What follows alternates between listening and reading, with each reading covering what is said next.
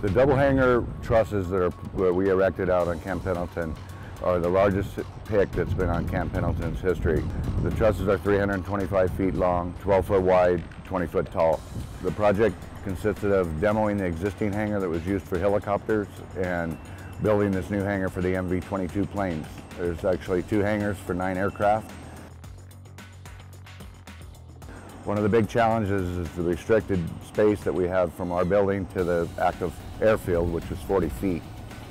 So knowing that we had 325 foot long box trusses to erect for the openings of each side of the hangar, we had to plan early in the project.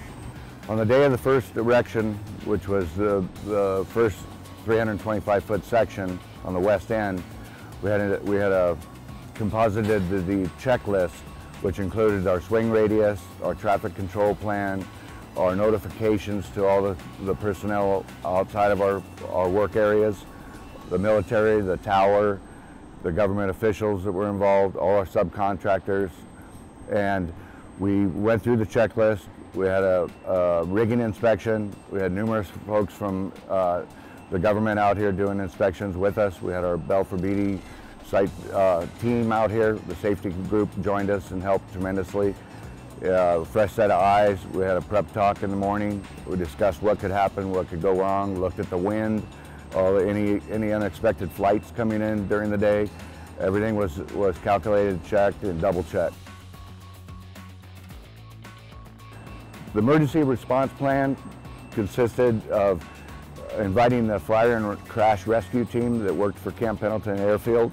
They were they had their fire suits on. They were sitting outside of the swing race in the crane, which was 150 feet away from us. They were observing the erection with the rest of our team. All the foremans were clued in and on radio contact for in case of an emergency or an incident that we could distribute them to the, required points for access and egress of, of emergency vehicles if needed. We had uh, everybody in zones that were keeping anybody that might not know what was going on at bay and uh, it was very well thought out, very planned and we followed through with a checklist. The controlled access zone that we've created up for the erection of the box trusses on both sides of the building consisted of the crane swing radius. It consisted of coordination with the airfield traffic parking.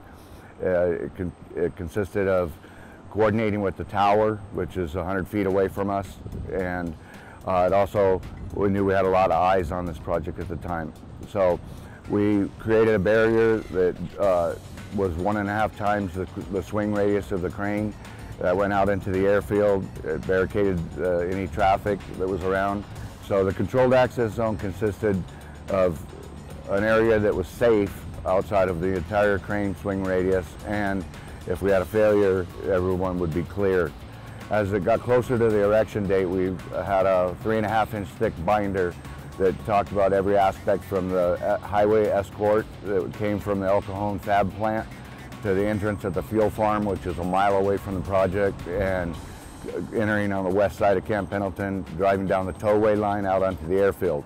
We all had to go through air vac training uh, to be on the flight line, it required different rules with checkered flags, uh, FOD inspections for uh, debris on tires. We had the government involved in it. We had their crane specialists out of NAVFAC uh, come in, out of Coronado and, and 32nd Street come in. The team did an outstanding job. You know, on an effort like this, it takes a lot of people and it takes a lot of thought and it takes a lot of open mind in order to cover everything that you can possibly think of that can go wrong and remove any risk that you could possibly think of that will happen.